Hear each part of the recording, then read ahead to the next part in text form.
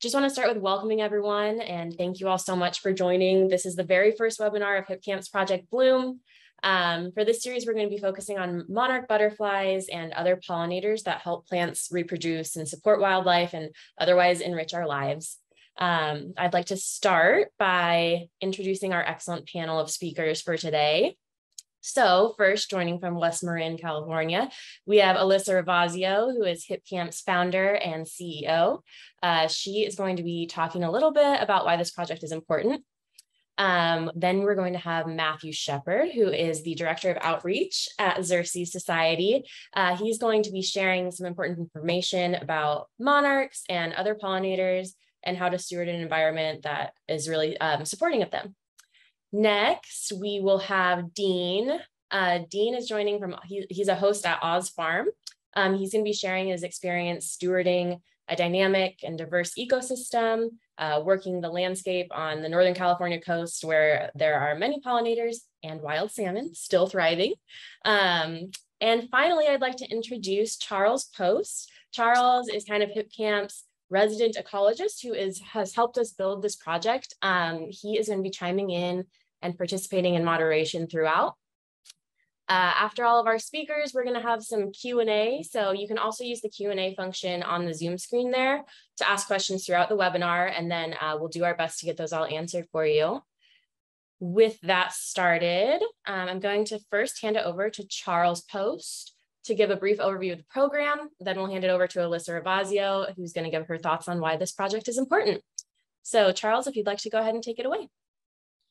Awesome. Thank you so much, Remy. Yeah, and thanks everybody for being here. It's uh, really incredible to see uh, what started as kind of a, a, quick, dreamy conversation with Alyssa, a longtime friend and, and collaborator. Uh, we've we've uh, worked together on a number of projects, and, and this was uh, yeah, perhaps my favorite uh, kind of seed she planted about, you know, how could we move the needle in pollinator conservation? How could we do something exciting and collaborative and synergistic? And so really just to kind of address what our what our hope was was this realization that pollinators really connect us all right pollinators are the behind the scenes busy workers turning flowers to fruit and pollinating our meadows and creating food, right? One in three bites of food we take is a byproduct of pollination. There are these just magnificent, colorful, incredible uh, species that that exist and are thriving and yet need our help. And so when Alyssa and I started kind of brainstorming what what this project could look like and who we could partner with, we we immediately thought of Xerces Society. Um, they're a leading group in invertebrate conservation.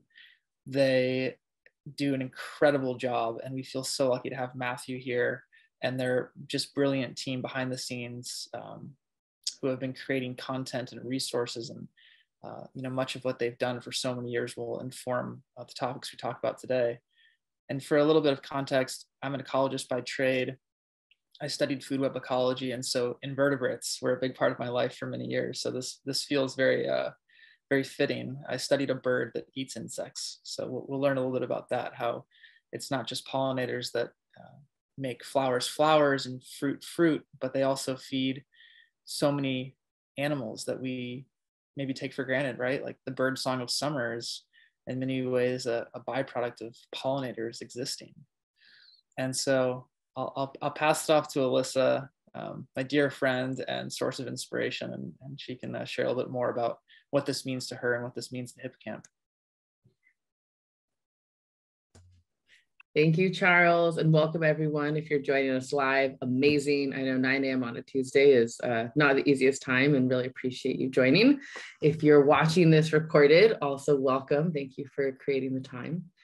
Um, and I am dialing in here from uh, West Marin, California, uh, the homelands of the Miwok people. Um, and just so grateful to be here. Huge thank you to Remy and Charles, Dean, Matthew. So excited to be bringing this group together and for all of you to join us. Um, and just want to share a few words. I am not the uh, the scientist or the ecologist or the landowner in the room. So I'm going to be brief and, and then hand it over to the experts, but just want to share a bit about why is a camping company so obsessed with pollinators? What's what's going on here? How do how do these things all connect? Um, so I, I, will reckon um, that most of you, most of us, um, have heard this term, the Anthropocene, um, which many scientists are arguing um, is a new geological era, as in geological, as in we believe 100,000 years in the future, we'll actually see a distinct striation in the in the soil uh, when we dig in, into the past in the future. Um, and that this new geological era is going to be defined um, by human impact, Anthropocene, the, the era of, of human. Um, a quick Google search of this world will make it very clear this is not a good thing um, in most people's minds. Uh, we're currently looking at extinction levels roughly about a thousand times uh, pre-human levels. There's obviously very dangerous levels of greenhouse gases building up in our atmosphere.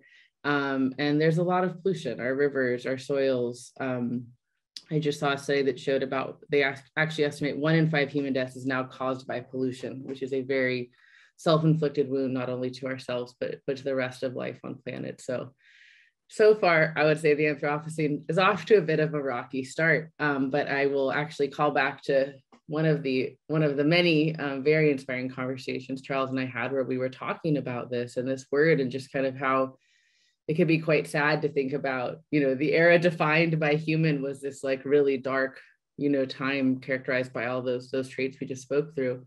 And charles i remember you very specifically saying let's make it a good one. Like let's do this.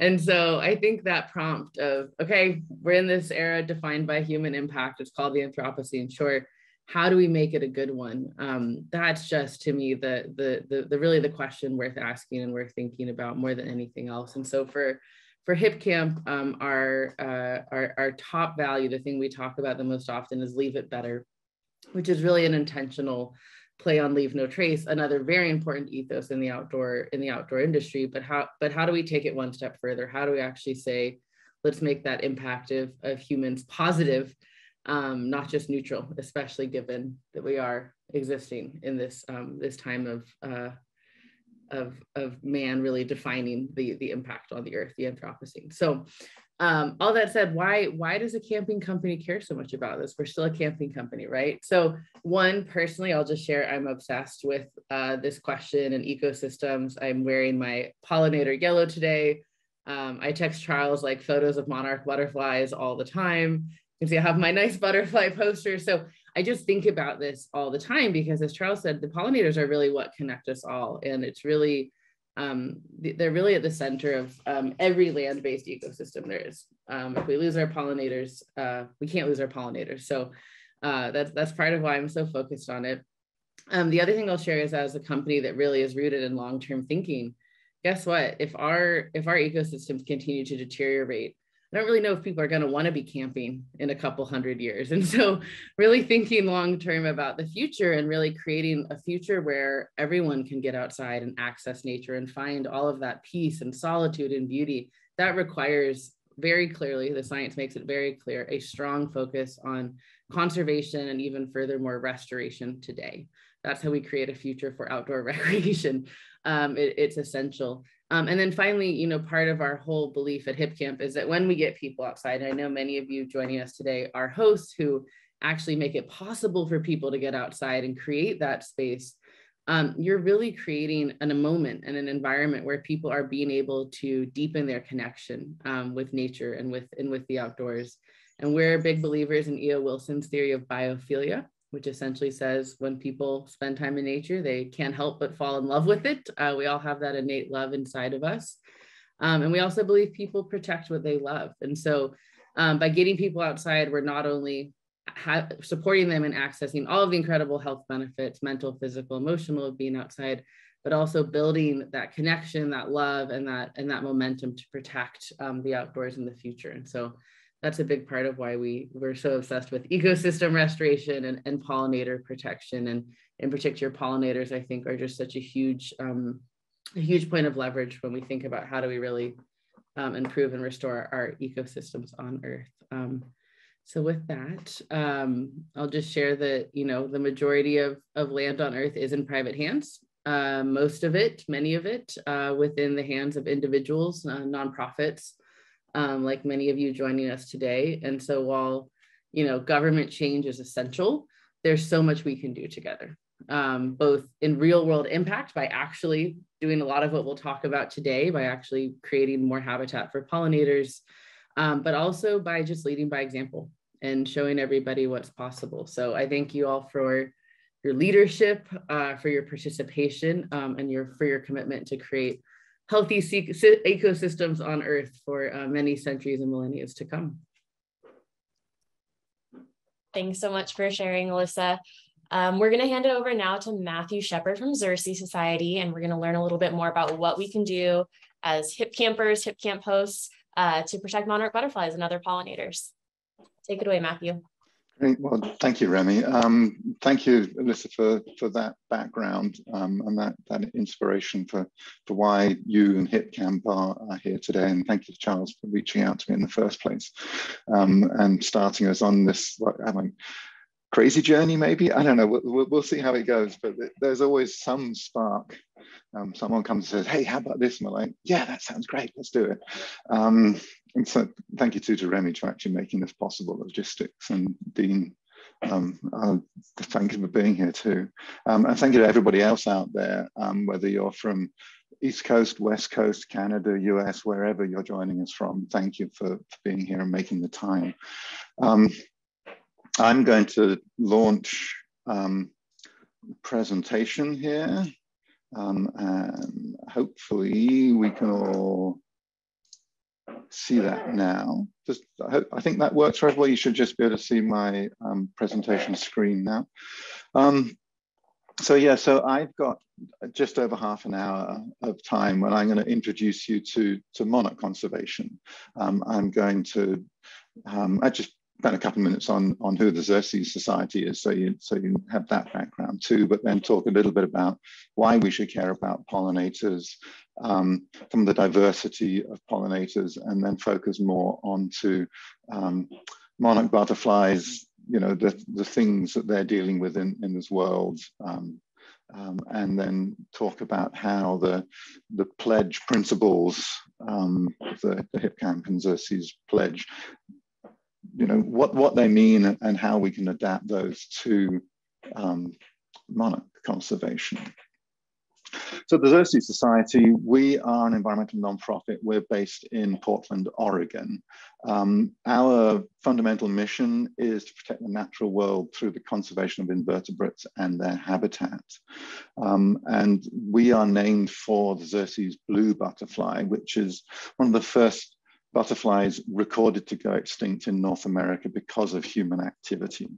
Um, it was actually last seen flying in 1943, and it was a butterfly of the San Francisco Peninsula. It lived on the um, ocean dune systems, um, which is now, you know, if you know San Francisco, that, that's now the Sunset District, or it's now the Golden Gate Recreation Area, or, you know, various other neighborhoods. And basically, as the city of San Francisco expanded, um, its habitat disappeared. And although we have this, this nice sounding mission at the most fundamental level, we want to prevent further extinctions. Um, we as an organization, we are donor funded and donor supported, and we have about 13, 14,000 members um, scattered around the world, although most are here in North America. Um, and we work through um, hands-on conservation so that we're working directly with farmers and land managers and agencies um, and, and, gardeners and park managers and, and anybody because at the, mo the most basic level if we're not improving conditions on the ground by expanding habitat or improving the quality of the habitat that remains then we're not really having that fundamental impact because the most important thing that afflicts all wildlife is loss of habitat. And so we're trying to get habitat back into our we also work through advocacy because we do like to maintain positive relationships with, with people as much as possible, but sometimes we have to just stand up and say, actually, no, that, you know, you, you should not be doing that. Um, or we're also working to um, achieve protection for rare and declining species. Um, the rusty patch bumblebee is the only um, in the continental United States that's protected under the Federal Endangered Species Act. And that's a result of, of our work. We're also behind the effort to get the monarch butterfly protected. Um, uh, that's that hasn't we haven't achieved protection on that, but that's still in process. Um, we also want to take research because we are a, a science-based organization and we like to make sure that we have evidence to support everything we do, whether that's advocacy or advice to someone on the best way of preparing um, a, a, an area for habitat creation or you know education etc etc and so we do work with um, a network of scientists around the world. Um, we also undertake our own research a lot of um, survey work and um, trials of, of, different techniques for habitat creation and such like. And then we're working through education and sometimes that's webinars or books or websites social media etc etc etc so why, why care about pollinators? Um,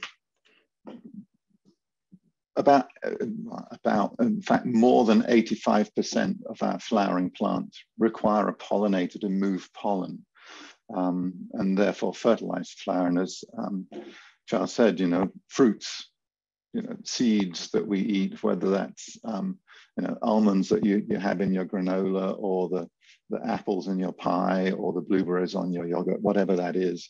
There's so, so much that we get directly. Um, and in fact, one in three mouthfuls of food and drink that we consume come directly from a pollinator. Um, and if you just want dollars, that, that's more than $30 billion value of crops in North America. But the true value of, of pollinators goes far beyond um, economic value in agricultural crops because they are at the heart of the healthy environment. Um, their, their work um, enables flowers to produce seeds and fruit, which one sustains those plant communities and two feeds so much else that lives um, in those plant communities.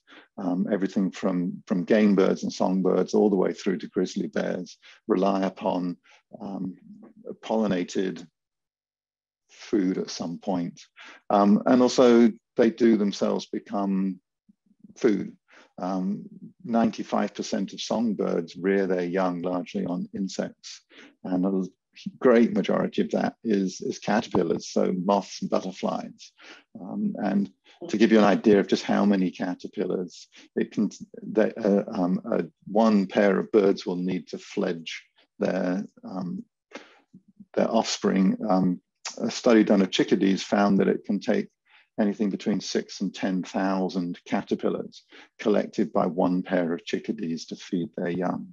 So it, th these, these insects are at um, the center of so many complex food webs and maintain our, our environment in all sorts of different ways.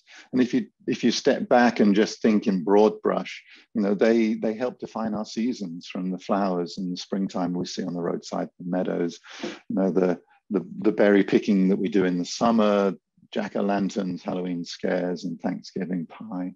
All of those things come to us thanks to a pollinator, and we frequently don't stop and think about it. The majority of our pollinators are insects. Um, if you were to look broadly, you would find there are some mammals that, that help pollinate. In fact, the largest pollinator in the world is probably um, in Madagascar. Um, uh, one, one of the lemurs there that feeds on flowers. They're probably the world's biggest pollinator.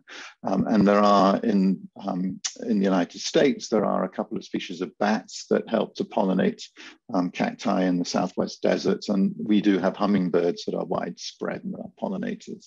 But most pollinators are insects.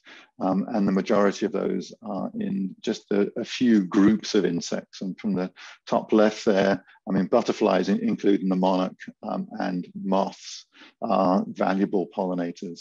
There are flies that pollinate, um, not all flies, but the flies that do pollinate are important. And the same in the lower left, the beetles. There are a good number of beetles um, that, that are, are pollinators. And then we have wasps and bees, which together make up um, the group known as Hymenoptera. And they, um, in particular bees, are obligate feeders on, on flowers and move so much pollen around. Um, but for today, we're, although these are the primary group of pollinators, um, we're looking at butterflies and in particular at the monarch butterfly. Um, so this is uh, one of those, those insects that is beloved everywhere. Um, and for an insect to, to, have such an enthusiastic fan club is quite remarkable because for, for most insects, they're considered to be pesky little things, you know. That's why people will bring in commercial um, sprayers to treat their garden to get rid of mosquitoes and to get rid of pests. Um, and, and, yet to have one insect that has a huge enthusiastic following is, is really quite inspiring. Um, and the monarch is an unusual butterfly. Um, in addition to being very large and colorful, it also has a remarkable life cycle. Um, and that may be one reason why it's so famous because of its um, migration and, and also because of its migration, it also connects communities across multiple states. Um, this map shows the, the general flow of monarchs across the country. Um, they overwinter um, along the California coast. There are several hundred small colonies of overwintering.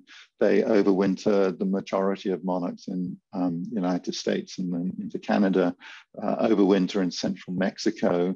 And there's also increasing reports of small numbers of monarchs um, overwintering along the Gulf Coast and um, possibly even along the Carolinas. Um, and then we also do have um, in Florida and increasingly in Southern California, we have some resident populations where they're not migrating. Um, but from the overwintering sites, the monarchs will spread across the country.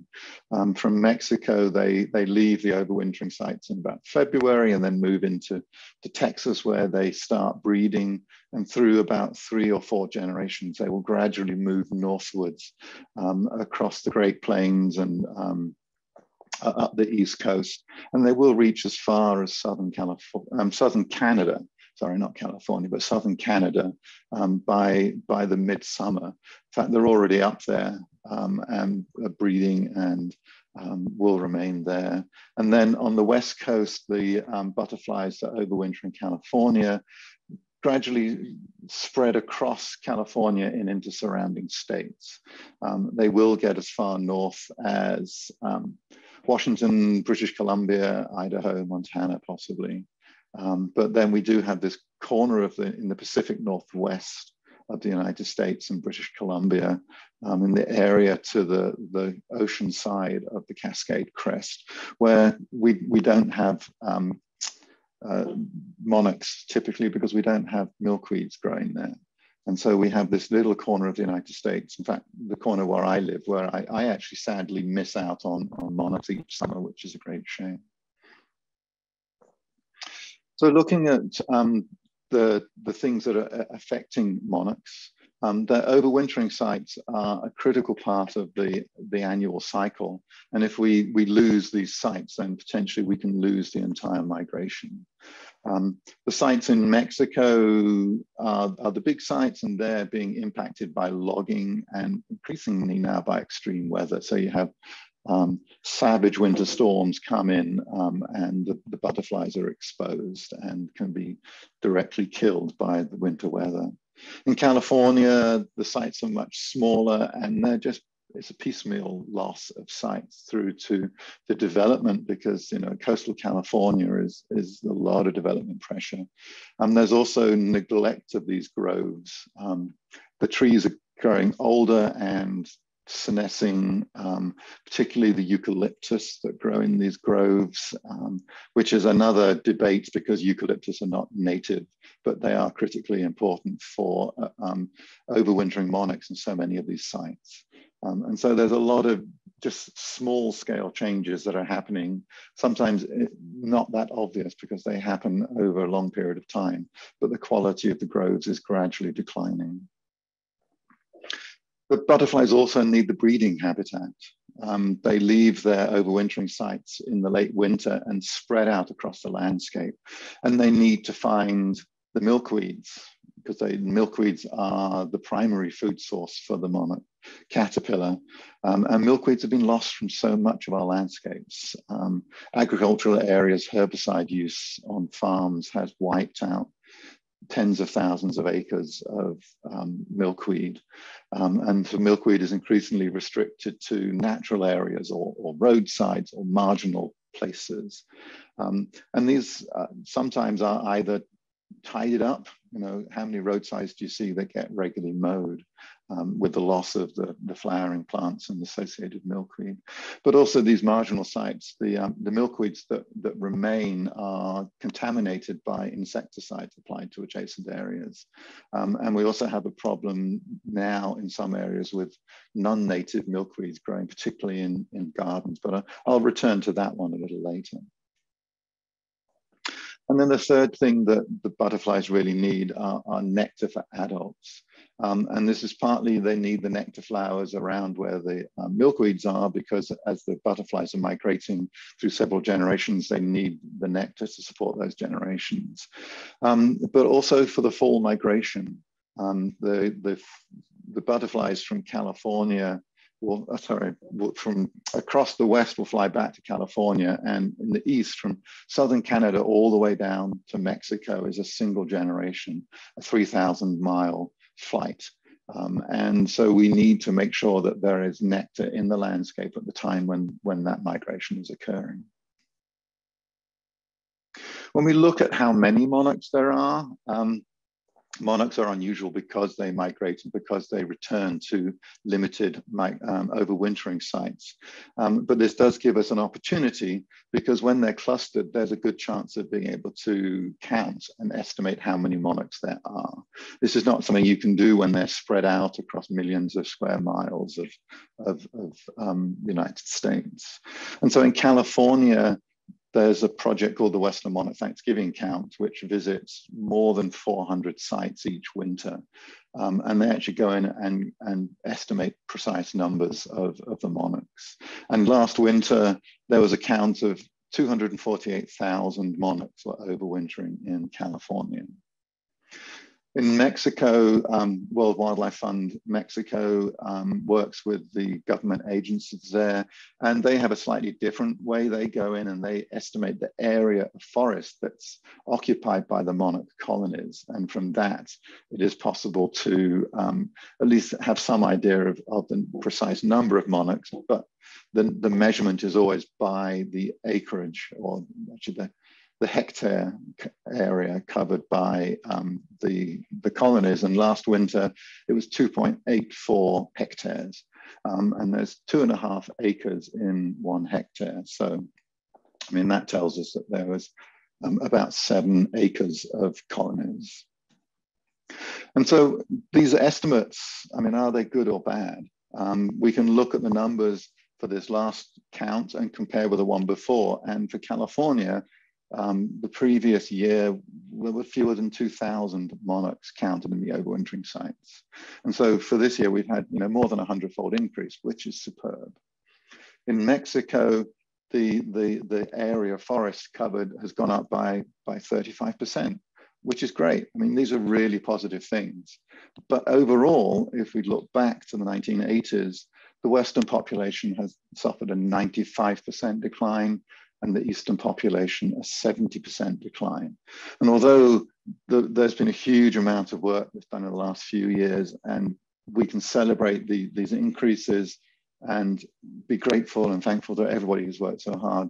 There's so much more to be done because we, we, can't, we can't say that we've saved the monarch yet. Um, we know that there used to be um, between four and 10 million monarchs in overwintering in California. Um, and the Mexico, the, the current conservation plan um, has a target of six hectares as the minimum area of colony.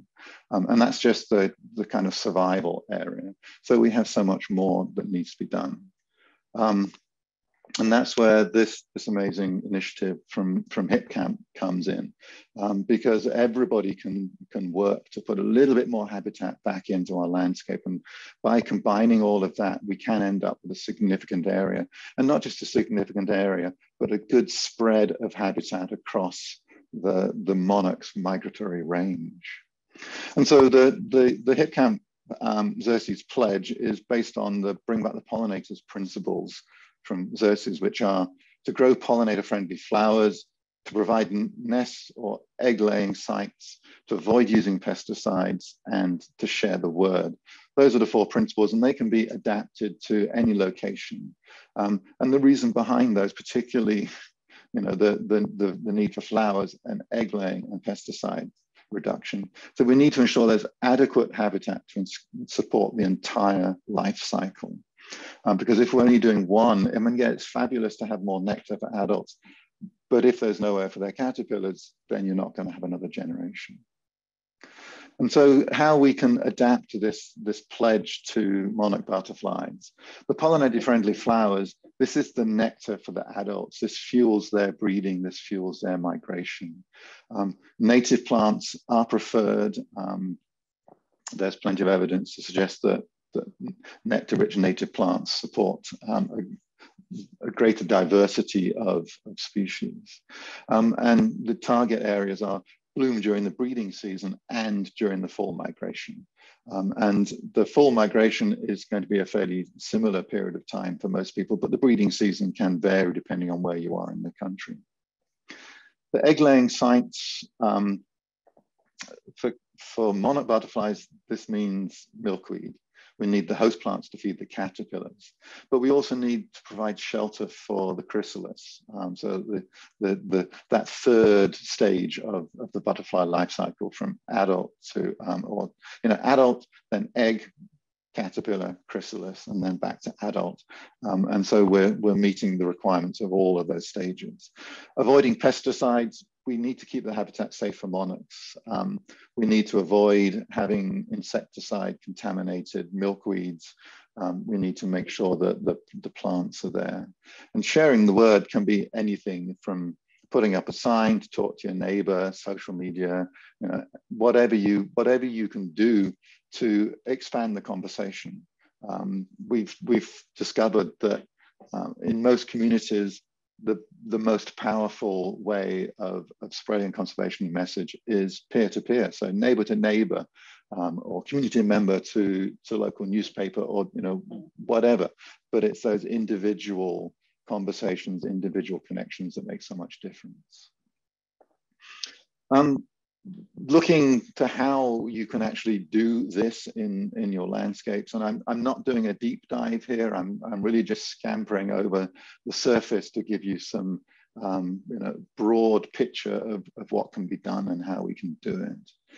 Um, the pledge principles of, of you know, nectar plants and egg laying and avoiding pesticides and um, sharing the word can be, can be adopted anywhere and can be fitted into a small site. This is a suburban garden, actually just, it happens it's just a couple of blocks from where I'm, I'm sitting in the Bay Area of California. And this, this one garden has all the elements of, of monarch habitat. They have the milkweeds, um, these tall plants here, this is showy milkweed. They, they, they, they have that for the, for the caterpillars. They have the nectar plants here, and these are mostly native nectar plants.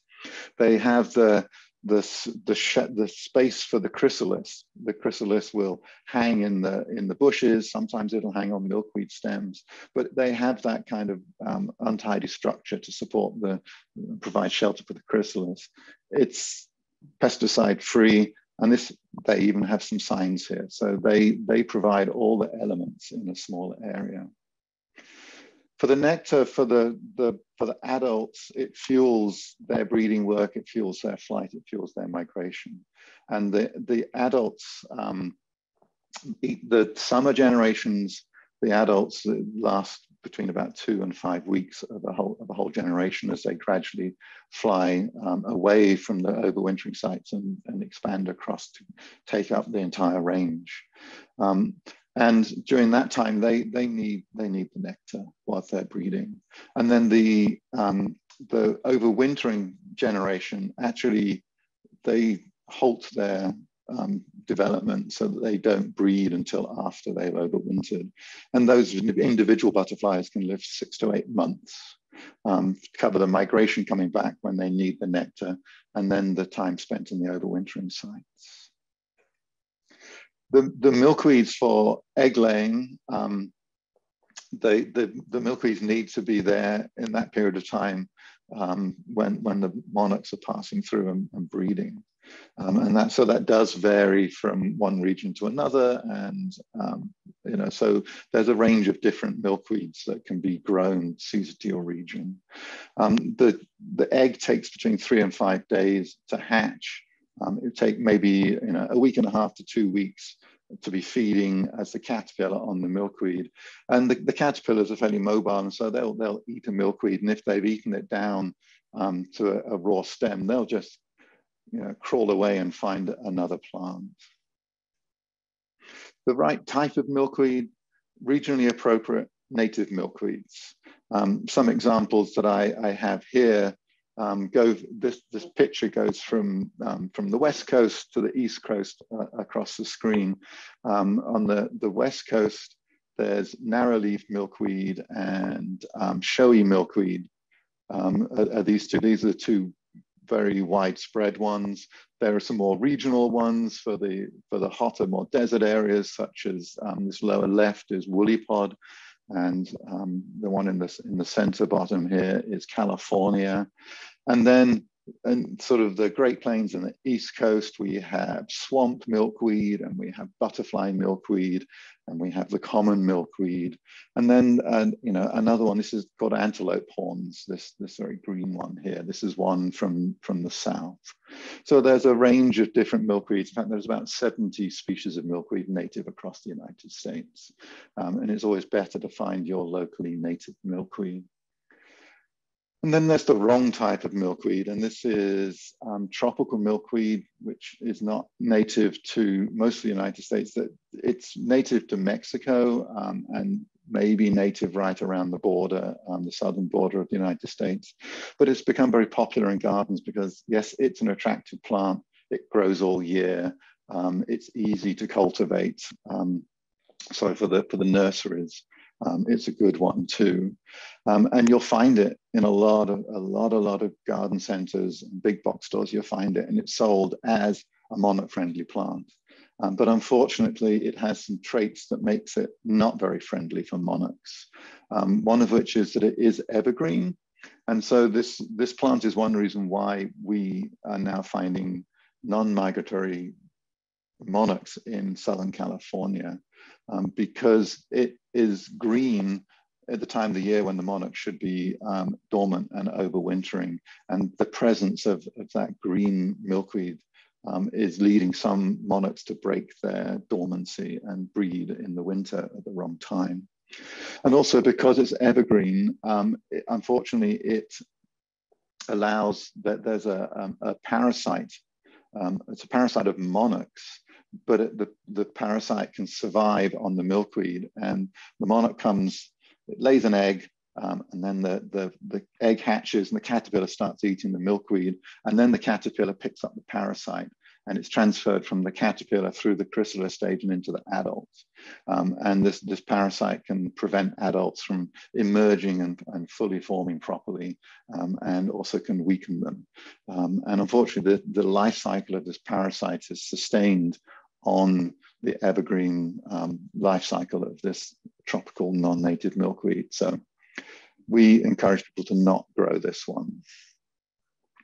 Um, the other aspects of habitat they need is shelter for the pupation for the, for the chrysalis.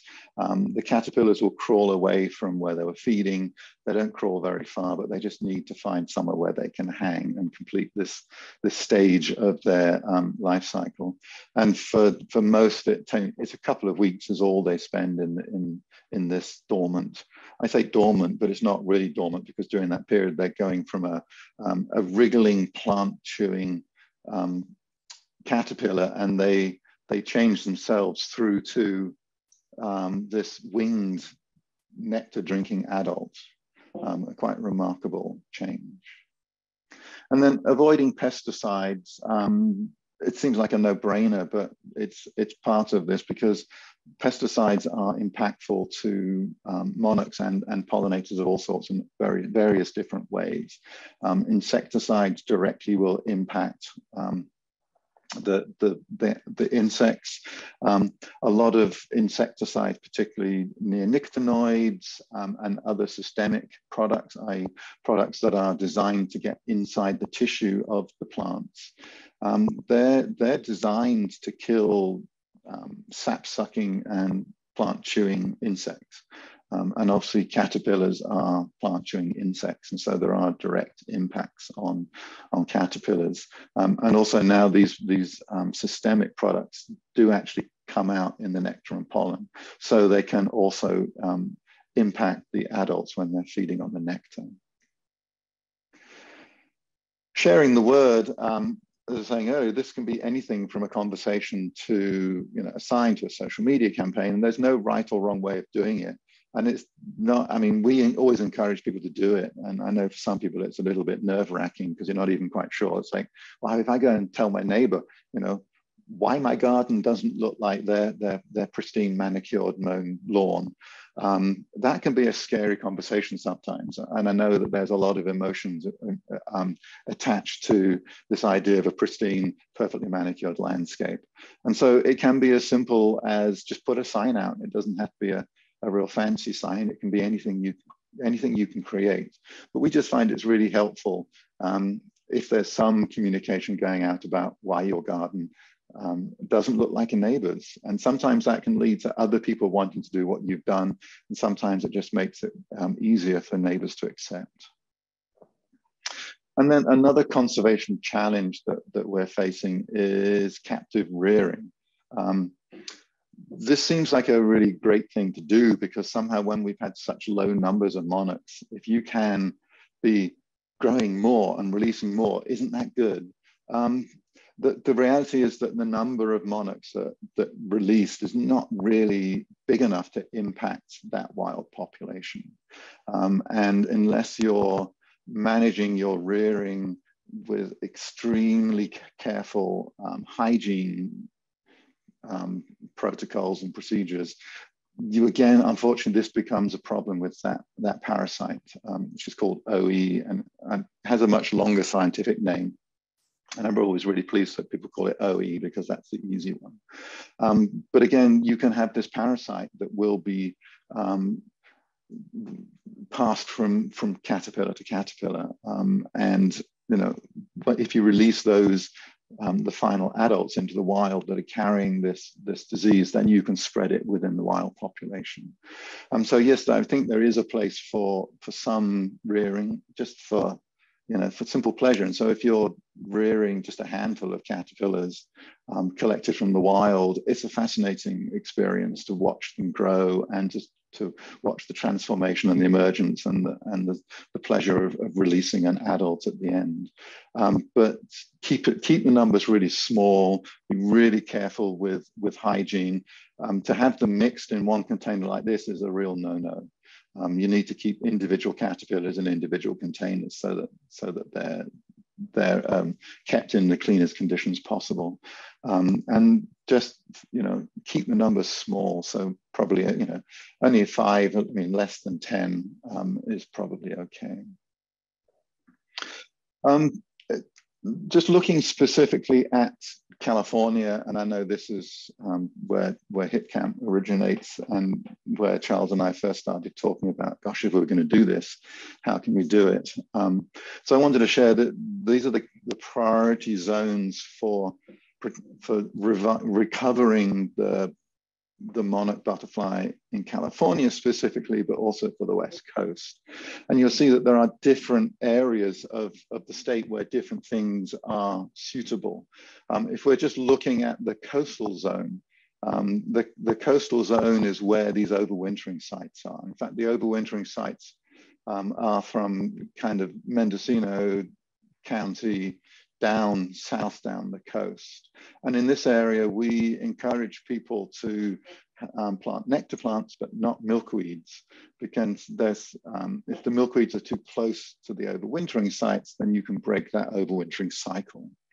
Um, and so, so if you're in the north coast area, which is yellow on this map, there's no there's no overwintering sites, so there's there's no restriction or no issues with planting milkweed.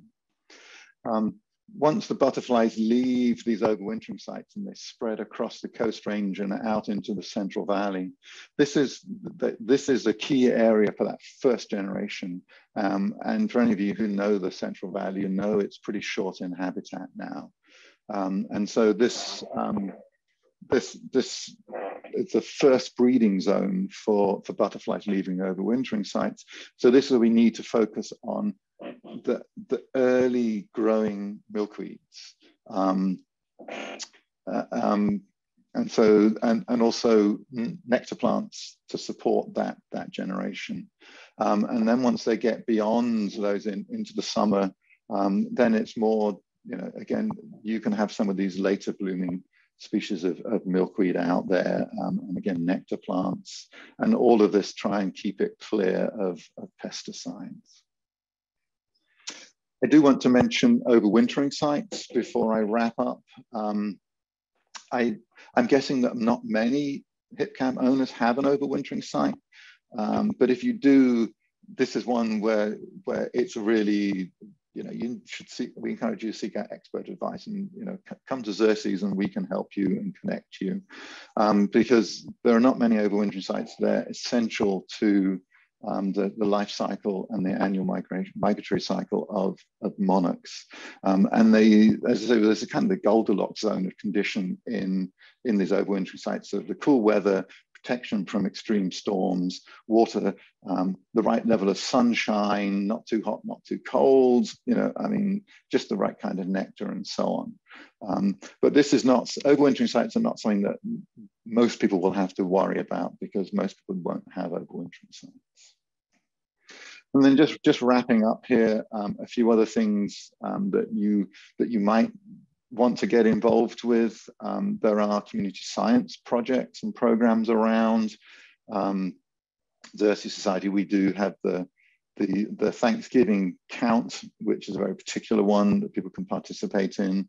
Uh, the Western Monarch Milkweed Mapper is one where you can um, submit observations of, of monarchs at any life cycle stage or, or milkweed um, observations. Um, and through that, we're building up a better and better picture of where monarchs go at different times of the year. That's, for example, why we're able to come up with the priority zones for California. And then there are others, you know, once you get um, start looking for monarchs, you're going to find bumblebees too. So there's other projects. And then Journey North is a great one for um, uh, following the migration for the for the western sorry for the eastern states um, project monarch health the monarch larva monitoring project focus on um, that parasite that oe parasite and its spread and containment i do want to mention bee city usa and bee campus usa um, because if you're starting with your own pollinator and monarch habitat you might want to get your um, your community involved at a, at a broader level. And so this is one, op one opportunity to do things at a citywide, a townwide activity and, and get yourself um, certified and part of a larger organization, a larger movement.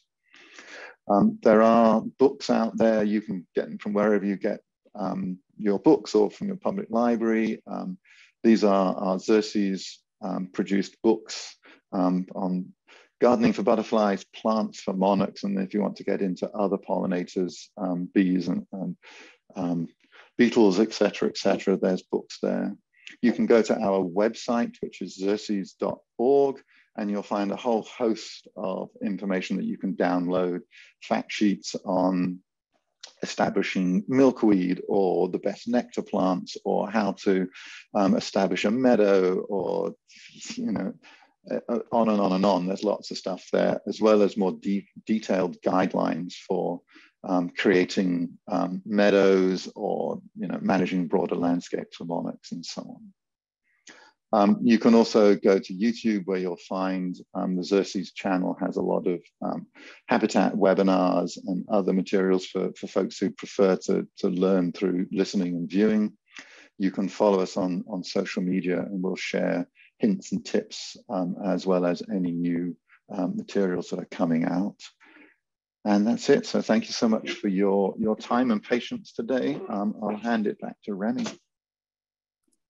Thank you so much. And Matthew, just real quick, we've had a couple questions that I think we might be able to get um, pretty quickly that I think sure. I'd like to ask. So um, one is, how do we know if we live in an area where we should plant milkweed or not? Is there somewhere like maybe on the Xerces website that people can go to look into that? Um, yeah, um, I mean, the, the, the milkweed free zone is a really narrow zone along the, the California coast, mainly the southern California coast. Um, and we normally recommend that, that people avoid planting um, milkweeds within about five miles of the coast um, from about Mendocino southward. And that, that, that's, the, that's the simplest um, single guidance. It, it gets a bit more detailed, but we can certainly dive into that another time. Excellent. And then um, can you just suggest a couple of organizations in uh, Canada that people could look into for their similar um, similar knowledge?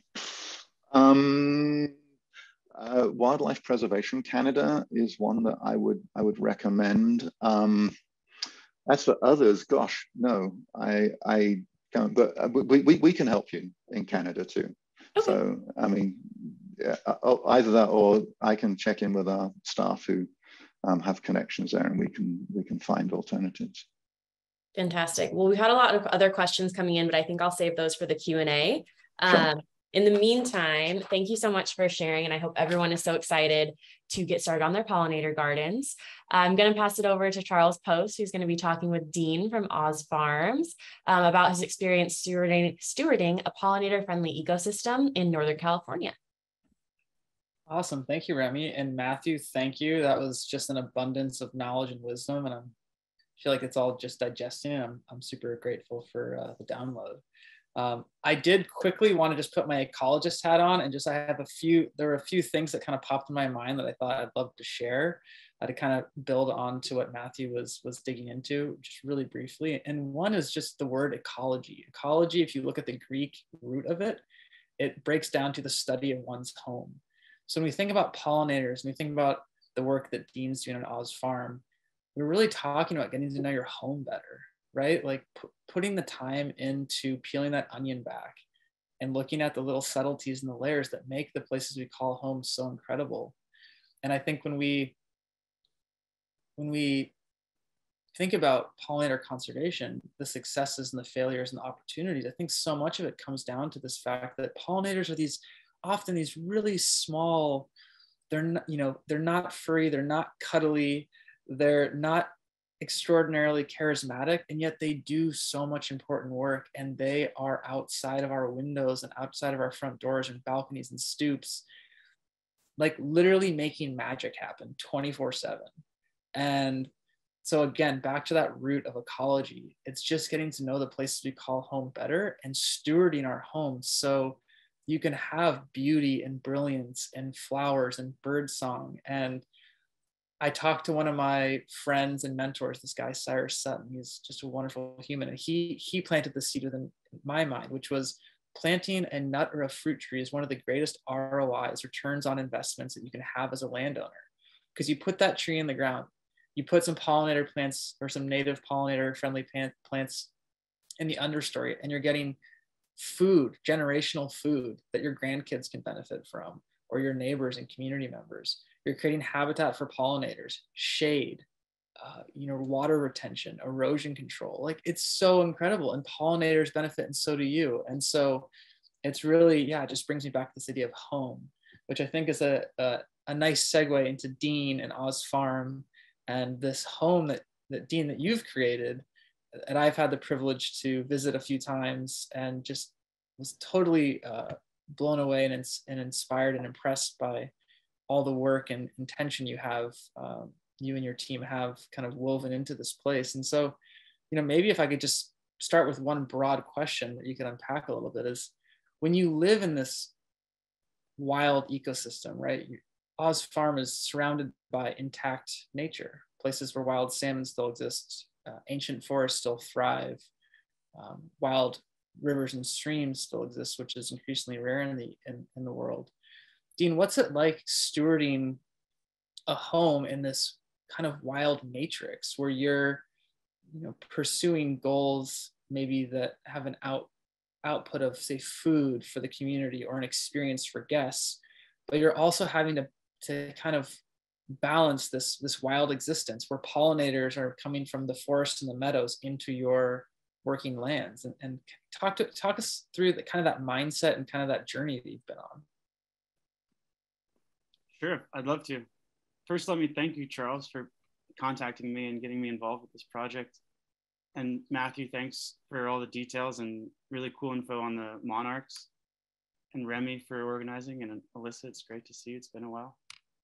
Um, for me, I'm sort of opposite to Matthew in the sense that we paint a really broad stroke here. We don't have a specific focus on a specific insect.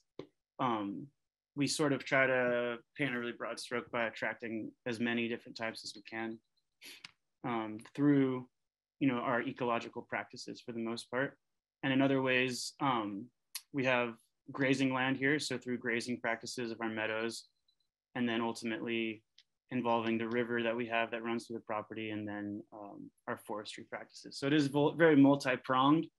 And what it's like to live here, it's um, it's busy and I, and sometimes we just keep our head down and we keep working. But you know, when we have people from Hip Camp come and visit on the weekends and stay with us, it's always really rewarding to hear how much joy people get to have from experiencing the work that we put into the land here to produce the safe space for people to come outside and experience nature and also to interface with our sort of niche, which is agro um, ecology and through that agritourism.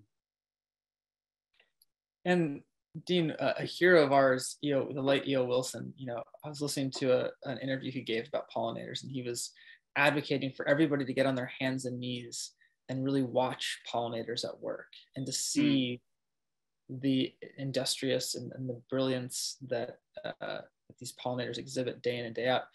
Talk to us about guests coming or visitors coming to your place and maybe experiencing pollinators or nature or working lands or intact ecosystems for the first time. Like, how, how do you meet them where they're at and also start to yeah peel back that onion a little bit and, sh- and expose this beauty this this landscape that you steward that's a good question i like to do it very subtly some people are more uh, engaged with you know questioning all the happenings around here. Other people sort of want to come and go um, and not have that sort of interaction and sort of educational component to what they're doing with the land and interfacing. But I think regardless, everyone has some sort of takeaway and experience here that they can take with them um, back into their, you know, whatever city or towns that they're coming from. And um, biophilia, like uh, Alyssa was saying, I think is a real thing. And what I try to do when people come to visit is, you know, if they show any interest in anything, I'll spend as much time as they want to spend before they say, okay, I got to go, I'm on vacation, uh, sort of inoculating them with ideas of how they can take this home with them to steward their own land or to steward their own little, you know, um, suburban landscape, like Matthew was saying.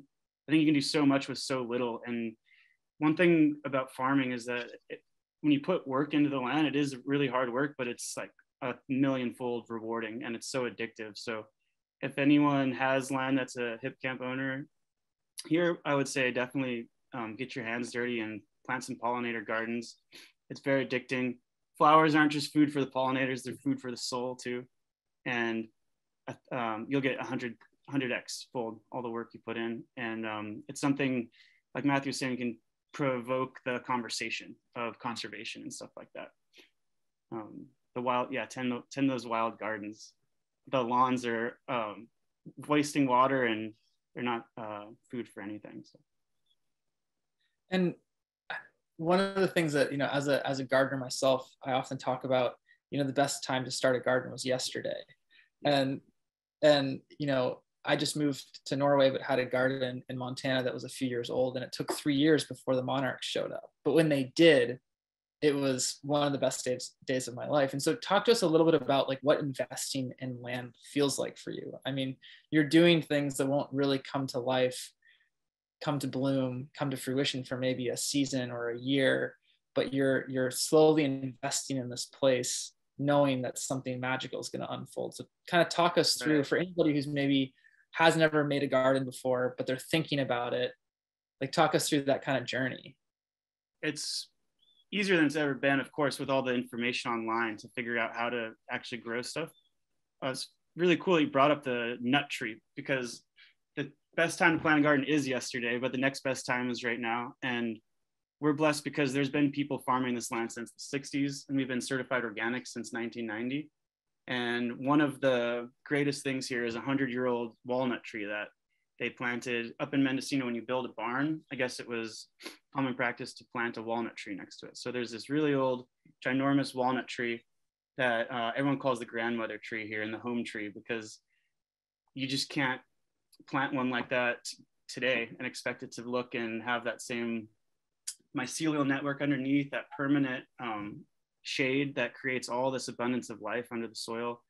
And then by virtue of that um, insects and all the plants that grow around that zone. And it feels like when you have so we have also an established orchard but it's only about 20 years old. And then we also have the annual production in our fields. And when you have a mixture of all those things i get you get the best of all the worlds because like matthew saying you do need that habitat for things to nest and overwinter but then annual production can provide a lot more of the flowers um, that we you know honestly use to also create revenue streams for our farm and I love that example, and, and I have to imagine you you have guests who either know about Oz Farm, see the photos, um, you know, learn about it through word of mouth. But I know for myself, having visited there before, people are drawn to your place and places like Oz Farm because of that vibrance ecosystem, vibrant ecosystem, because of the life. And so there's obviously the revenue streams that come from the perennial or the annual garden, the, the, the, the, produce you grow and the other things that come from the land. But I, I would also imagine that there's that experience that's drawing people, that people are seeing the grandmother tree, seeing the river, seeing these threads of the ecosystem you steward. And, and that's probably a draw. Would you, is that something you'd agree with? Yeah, 100%. 100%. Um, we're, we're blessed to live in an area that's so diverse. Um, you know, we are also two miles from the coast and we have a fault line running through the middle of the property, the San Andreas. We have that river, we have the redwoods. It's um, you can explore a lot here and never really get to the bottom of everything.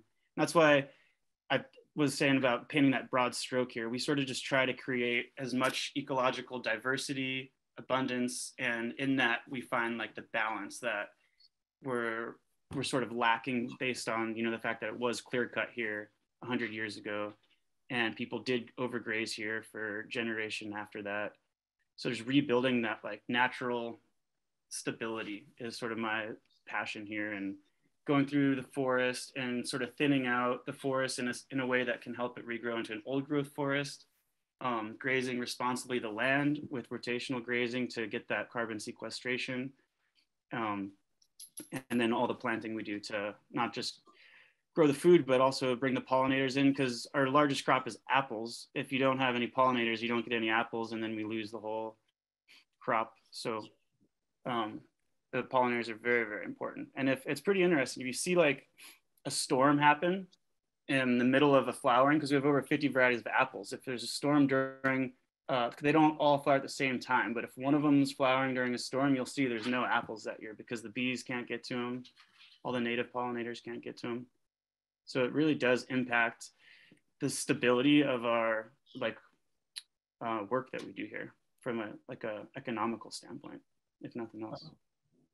And so maybe a you know a final question be if you could could you speak to kind of the importance of community, right? Like you're you're you're not an island, right? You're surrounded by other working lands, by wild lands, by people on you know various legs of their journey of stewardship and and maybe you could talk us talk us through kind of your approach as you think about the practices you're making and, and the way that you uh, behave and, and steward the land in this broader context of a community of a watershed of you know you watch a pollinator fly into your yard or past your window or past your front door or whatever it might be and it came from somewhere you know and so it's really there not just because your place is suitable and attractive, but also because maybe your neighbor's place is suitable and attractive. And so maybe can you talk us through kind of like the approach and mindset, lessons, tips uh, about around community and, and, conservation? Community is a really big thing here. It was, you know, your classic hippie commune in the 60s here. So the idea of community is sort of ingrained in the ethos here. And outside of that, it's a very uh, counterculture, hippie sort of area up here. That a lot of people care a lot about community, and it's not the kind of place where you go get off work, drive into your garage and close it and don't talk to anyone around you. You know, a lot of people, they say like, if you want to, uh, what's the expression? You want to f- find out who, find the person that owes you money or find out what's going on around town. You go to the post office. It's hard to get anything done when you go into town because you'll be there all day chatting people up that, you know, are from other kind of woodsy properties like this. Um, so community is really big and we try to foster community here. We have an apprenticeship program um, where we promote the idea that we live in community here. We do different shifts on cook nights and things like that.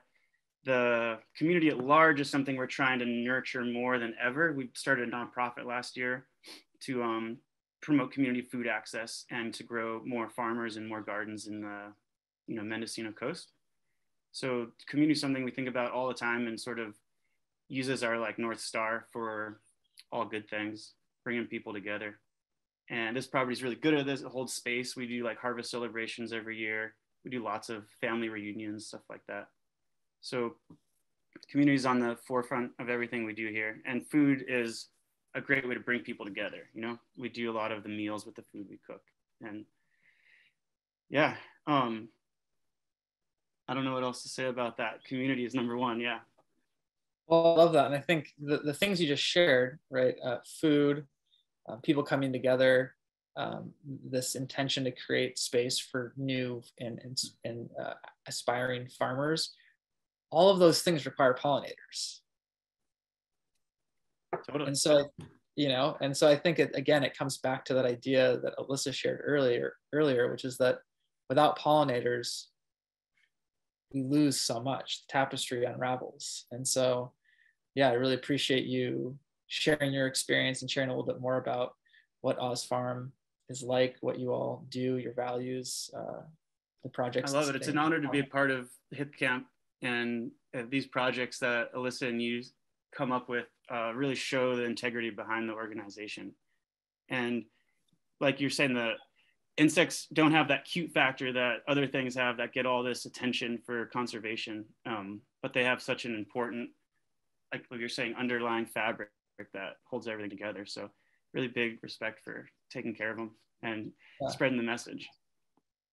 Well, and one of the cool things is that pollinators are pollinators are considered, you know, can be considered umbrella species where you protect pollinators and so many other species are underneath that umbrella. So it's really a wonderful place for us to direct our collective gaze as we think about planting a garden, making a pollinator habitat, um, you know, whether it's on your stoop, your backyard, your farm, your community garden, uh, your roof. Um, it's really kind it's, of the, it's so true. And with Hipcamp having properties all over the place, it really does make sense what Matthew was saying that the you know traveling insects can connect through these networks if we can build them. It's sort of it's really cool to, to have that tapestry. It's really cool. Absolutely. Well, thank you. And Remy, I'll pass it back to you. I know we're getting close to our Q and A. Yes. Um, thank you so much, Dean, um, for sharing all of that. It's been really inspiring. So yeah, like Charles said, we're going to open it up for our Q&A. Uh, please feel free to drop your question using the Q&A function on the bottom there, put it in the chat. Um, we've actually already got some coming in, so I'm going to go ahead and get started. Um, quick one for Matthew. How can people get involved in the Thanksgiving Monarch Count? Um, yeah, we um, normally recruit volunteers. Um, gosh, I, recruitment normally starts in the sort of the late spring and into the summer. So we're probably looking now because there is some training involved. Um, I'm not sure for the last couple of years with the pandemic going on, we were not recruiting more volunteers just because you know we weren't having groups of people. Um, so I'm, but I can certainly get that information out. And when when when um, the the folks on our staff who, who oversee the count are getting to that point, um, then I can push information out to people. But yeah, just if you if you follow us on social media, there'll be an announcement going out. Or if you want to know specifically, you can always email monarchs at xerces.org and get in con direct contact with the folks who run it. Excellent, thank you. Um, let's go over here. Um, let's see, if someone runs a homeschool group, what are some good resources for educating children about pollinators and how to protect them? Um, the best thing I think that we can offer at the moment, and I know it will depend on the on the age group, but we have um, a project called X Kids, which is um, an activity booklet that will lead people through a series of um, science-based activities in which they learn about invertebrates in their in their neighborhood, um, and that does include pollinators. Um, there are also some other. I mean, Xerces, we don't have any any direct um, resources, uh, curricular resources, and so on. But there are other organisations out there, such as Pollinator Partnership, that do have some um, pollinator curricular materials that would be suitable. Perfect. And yes, Heather added that they will be elementary age. So. Okay. Yeah. The X Kids is aimed for fourth and fifth graders. Um, so. All right. Um, this one, let's see, maybe Charles or Matthew can take this. Uh, this person, Jonathan, has an Appalachian Bee Collective that has put out thousands of non-native honeybee hives. Um, it's put tremendous pressure on the native pollinators. Unlike most places, we have lots of natural native habitat for pollinators. Um, Jonathan's tried to convince the collective to stop raising non-native bees. Um, are you doing anything to educate people about the extreme harm of raising honeybees is doing to native pollinator populations? do you have any suggestions on how we can convince people that maybe not all pollinators are created equal? And feel free to open the Q&A if you'd like to read that, reread that. I know that was. Um, well, no, I, I, did actually read that one mm -hmm. whilst um, Charles and Dean were talking. So, um, yeah, I mean, um, at Xerces Society, we're doing what we can, but this, um, the, there is direct conflict between honeybees and, and native bees. Um, and we've had so many conversations with people. I mean, just last week, I, I did a webinar all about this for another, another organization. Um, and it, it's a really awkward topic because um, I, I, encounter some people who are um, entirely dedicated to honeybees, and I get it. I mean, we need honeybees for um, you know our commercial ag, there are places where the landscapes are so degraded that probably having honeybees is not too terrible. Um, but we do need to be thinking carefully about where honeybees are being placed and whether there is enough habitat to support honeybees because our landscapes have been degraded. You know, you just look at the monarch, which is the focus of, of today's um, event. And one of the reasons is that there's not enough habitat to support the monarch across the landscape. Um, and so bringing in a, a, another hive and putting it in the existing landscape is just adding pressure. And so we really need to be focused on creating more habitat. Um, uh, so that there's there's more to support the native bees, there's there's more to support honeybees. Um, I also always ask people to to think about why they want a hive um, and whether beekeeping is really going to get, get them to the endpoint they, they want or whether they can focus on, on habitat. There's a, an organization in Britain called BugLife that just last year put out a, a, statement, which I thought was interesting, which very closely aligned with, with what Xerces are doing. But they actually said, and it said, hey, you know, you're going to put a hive of bees out, you should consider putting creating two hectares of additional habitat to support that hive. And so that's five acres of habitat um, and that was a really interesting guidance. I mean, every time you, you add a hive, add five, five acres of habitat. Um, I don't know whether that's possible for most people, but it's a really, it's a really good, um, a, a, good starting point. But also to go back to the, the origin, the, the, the, the fundamental question here, which was what can be done to check, you know, are, are, there things that we can do to be trying to convince these folks in, in this um, Honeybee Collective not be doing it. And um, I don't know if there is. I have to be totally honest about that. Um, and I have spoken with with um, beekeepers um, who don't see the difference between a honeybee and a native bee, um, and just consider to be any bee to be okay. and the reality is that we really do need our native bees. They're you know, at least a quarter of the plants in this country cannot be effectively pollinated by a honeybee. So, you know, replacing, uh, you know, hundreds, and there are about 3,600 species of bees native to this country. And so trying to replace 3,600 species with one, it doesn't work. Um, the, the, the, the ecology that we have, the you know, the ecosystems that we have, um, the plant communities are based upon that diversity of bees, bees and plants, this process of co-evolution. Um, and so we, we need the diversity of bees that we have in order to support the diversity of plants that we have. Um, and so simply bringing in you know, more honeybees, we, we're creating conflict and competition for the nectar and pollen. Um, and there is enough evidence to suggest that honeybee hives uh, or the presence of honeybees are, are pushing out native bees. Um, and so, but we really need those native bees in order to sustain the plant communities and the ecology that we have. Awesome. Thank you, Matthew. And um, Matthew, I have a, oh, sorry, Ryan. No, please go ahead. I had a quick little follow-up question, Matthew. It's, it's, it's not supposed to be a trick question, but it's, it's uh, just one sorry. my mind. So would it be better for somebody to plant a planter box of non-native plants and attract European honeybees than to not have in, any uh, flowers or you know poll- pollinator habitat uh, you know at their at their house or where they live?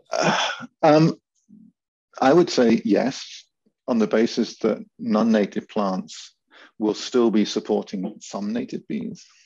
So, I mean, non-native plants, and, and there is some evidence to suggest that honeybees will preferentially visit non-native plants. Again, it's their process of co-evolution in, in Europe or you know, the, what we know as the honeybee naturally occurred in Europe, Asia, and Africa.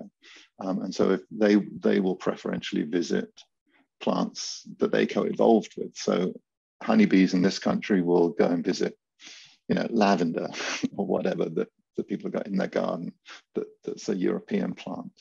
Um, but lavender, for example, is still a great support for bumblebees and mason bees and mining bees and other bees. So if, if you only plant, have a planter of non-native plants, you are bringing some benefit to the native bees.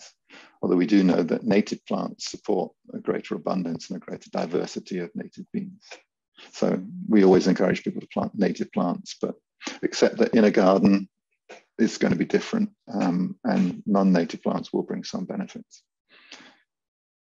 Yeah, that, I appreciate uh, I appreciate answering that because I think it's interesting, right? Like I think a lot of people are on different parts of this journey. Maybe you know, as Dean pointed out, they have a patch of lawn, and then maybe there's this progression of you know you find a few flowers at the market or at the grocery store or wherever and you know and then it, it grows into this the lawn becomes this next iteration mm-hmm. a little bit of color sprinkled in. And then hopefully we can bring people along to yeah maybe the pollinator the, you know the native plant dominated pollinator garden. Um, yeah. I, I, I say anything we can do to bring diversity to bring wildness back into our manicured landscapes is going to be better on that note, for those who are just starting their pollinator gardens, do you know any organizations that will come uh, help plant pollinator gardens for you, or they can provide the plants for you, or anything that'll make it kind of easier for people to start creating that environment? Um, goodness, it's like we're like playing stump the chump, aren't we today? but no, I mean, I again, I, I'm sure that locally in different areas you may find some locals because I know there are all sorts of um, local nonprofits around the country who come in and, and help you garden or there's the native plant societies that can help. Um, there's always going to be master gardeners who are a great source of, of advice, but not necessarily someone who can physically come and plant. Um, I mean, at the Xerces Society, we work with um, farmers and other land managers doing larger scale projects, and so can can help provide guidance on on those kinds of um, habitat creation projects. But we still don't we don't have the staff to, to like turn up and, and do the planting for you. Mm-hmm. Um, it'd be one it'd be wonderful, um, but we're not able to do that. So. Um, what are what is Xerces' thoughts on tagging monarchs to track their movement um, via small stickers that are applied to the wing? Do you know anything about that? Yeah, no, I mean, there's a couple of um, organizations, including Monarch Watch, which is um, based in um, Kansas. Um, and this has been an incredibly valuable project that's been going on for a long time because again this is the reason why we know where monarchs breed and where they end up to overwinter because people have been marking monarchs with these little tags. Um, and so that, that that does produce some very valuable um, data. And so that you know we know from that where where monarchs originated and, and where they end up. Perfect. Thank you so much um let's see here i understand we have a question here that is how does this all relate to indigenous sovereignty and the land back movement um, i'm not sure if I know the answer to this one, maybe Alyssa or Charles could chime in on this. Um, what do you guys think? Happy to jump in and then would love to open it up to, to others. Um, really good question. Um, over Charles fact check, 80% of the world's biodiversity is on indigenous owned and managed lands currently. Is this correct? Yes, that's what I've I've read and and our um, TEK expert uh, has confirmed this uh, from previous work.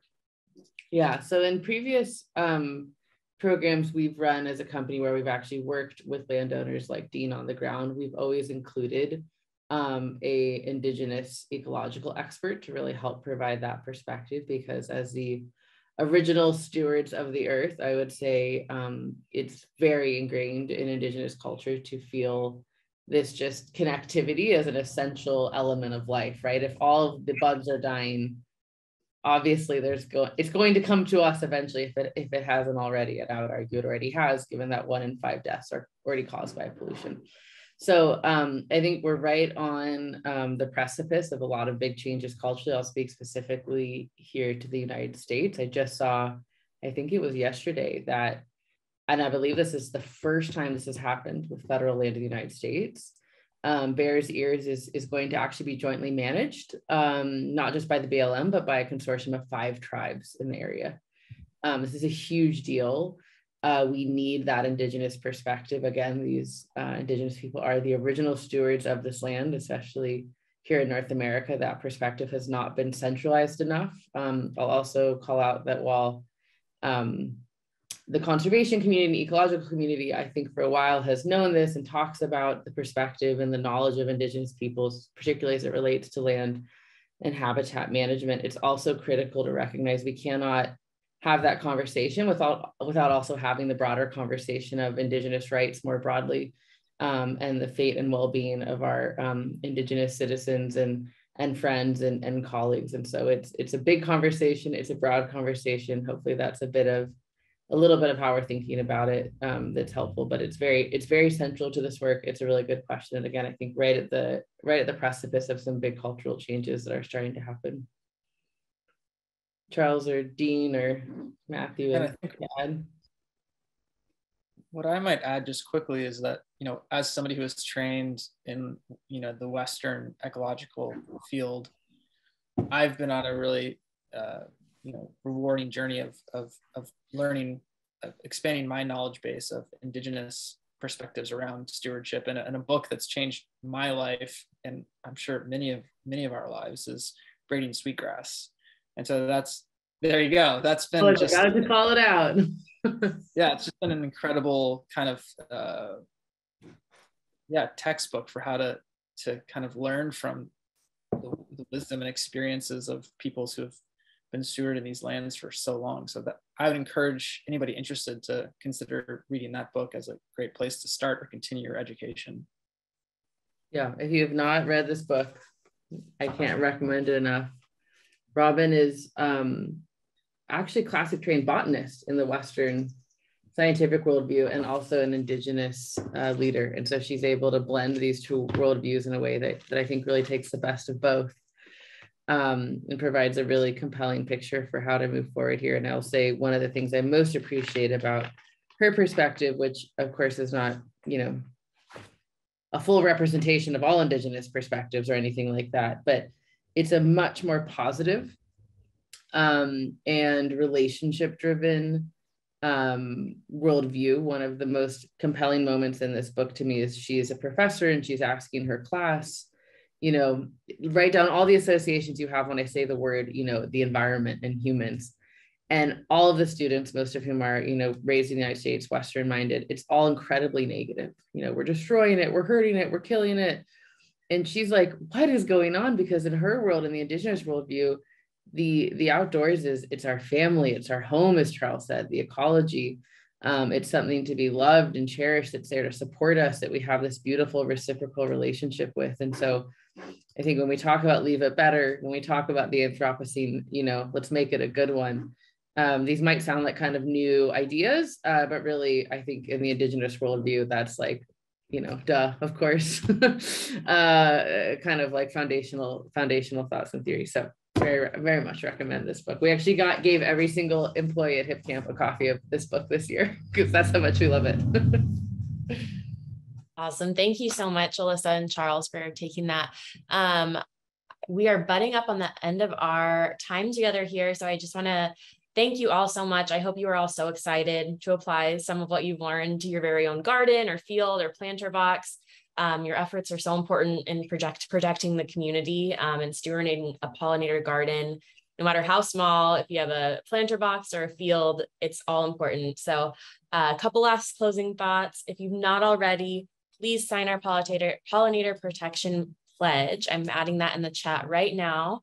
Um, quick update, we've already got about 550 people that have signed the pledge mm-hmm. um, and it's growing. So please share it, um, sign it. We've got more to come. Um, as a reminder to those of us and those of you that are Hipcamp hosts, um, soon we will be sharing um, participating hosts that have signed the pledge on our Hipcamp homepage and elsewhere. Uh, also, finally, keep an email, keep an eye on your email um, for an invitation for our next webinar in this series, where we're going to talk about how to tend your garden into peak summer season, and what to plant for your fall pollinator garden and prepping for the rainy season. Um, finally, happy solstice and thank you all so much for joining us. We hope to see you at our next webinar and continue to spread the word. Thank you all for joining.